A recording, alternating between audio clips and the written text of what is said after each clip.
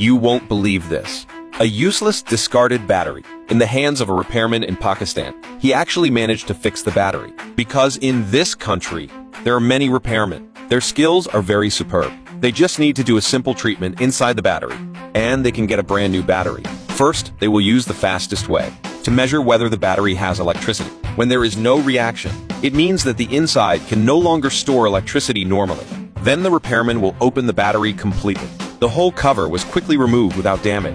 Although the battery can't store electricity now, it doesn't mean that the plates inside can't be used, so they still need to sort out the blackened plates. Although the chemical substances on the plates have failed, but in order to separate the negative plates from the insulating plates, they use the fastest method, to dry the negative plates that can still be used. In order to reduce the cost of battery refurbishment, the insulating plates dismantled inside the battery can be reused, and the residual oxide on the surface just need to wash and dry in water. Pakistan is a tropical climate. These selected negative plates can be dried before the sun goes down. But these plates can't be used normally. Because the pole ears are too short, they also need to repair them by hand. Although they don't have professional repair tools, but they are very smart. This kind of plate repair is very simple for them. The only drawback is that they can't control the length, so they still need to trim. The purpose is to facilitate the subsequent welding, and without using the mold casting. The thickness of the repaired plate will also be different, so the repairman will adjust the surface by grinding.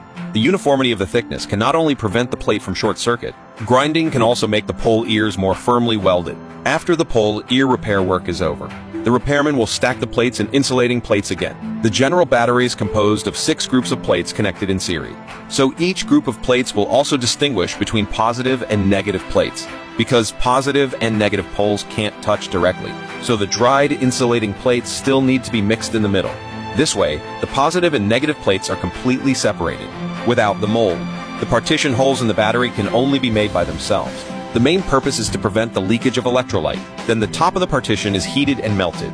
And this is the connection position after the repairman's transformation. The sorted and fixed pole groups also need to be connected. In order to make the pole groups more beautiful, they will use homemade iron plate molds to shape. Not only can they connect the pole groups together, but also make them uniform in shape, in order to facilitate the repairman's subsequent series welding. And the direct casting of the pole group will have gaps. In order to avoid risks, the repairman will also use an iron to melt the surface at high temperature. The strength after cooling again is higher. Under the skilled operation of the repairman, he quickly entered the assembly line. When the plate is fully in contact with the bottom of the shell, the pole column still needs to be trimmed. The pole column must be flush with the battery shell partition. This can facilitate the pole column welding. Finally, install the battery cover. Make it fit completely. The battery port also needs to be welded. The main purpose is to prevent the leakage of electrolyte. After the repairman's careful polishing, he will also re-engrave the original connector. Due to the limited conditions in the shop, there is no high-end hot melt machine, so the repairman will heat and melt the plastic of the scrapped battery shell. This can not only deal with the cracked shell, but also waste utilization. Then the repairman prepared the electrolyte. When the concentration meets the requirements, pour the electrolyte into the battery. Its main component is dilute sulfuric acid. Then the new battery needs to be reactivated because the repairman does not have a tool to measure the voltage, so he can only test it by electric sparks. When electric sparks appear, it means that the new battery is done. It's really amazing.